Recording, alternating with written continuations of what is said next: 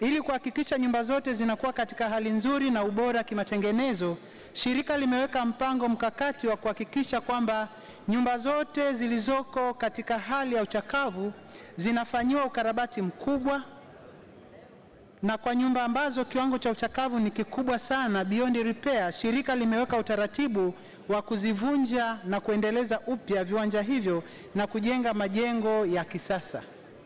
Mheshimiwa Naibu Spika, Shirika la Nyumba la Taifa limefanya uhakiki wa nyumba zake zote na kubaini hali halisi ya kila nyumba na kuweka mpango wa kuzifanyia ukarabati nyumba hizo kwa awamu.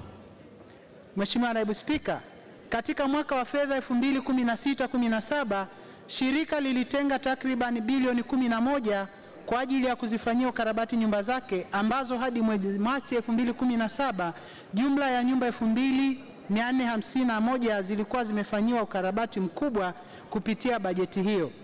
Aidha, idadi ya nyumba zilizofanyiwa ukarabati mkubwa inatarajiwa kuongezeka ifikapo mwisho wa mwezi Juni 2017. Mheshimiwa Naibu Spika, shirika linatarajia kumaliza kuzifanyia nyumba zote uh, katika mwaka wa fedha 2017/18. Hata hivyo, ni vyema ikafahamika kuwa matengenezo ya nyumba ni kazi endelevu kwa shirika, hivyo bajeti ya matengenezo itaendelea kutengwa kila mwaka ili wapangaji wa nyumba za shirika waendelee kuishi katika nyumba zilizo na mazingira bora.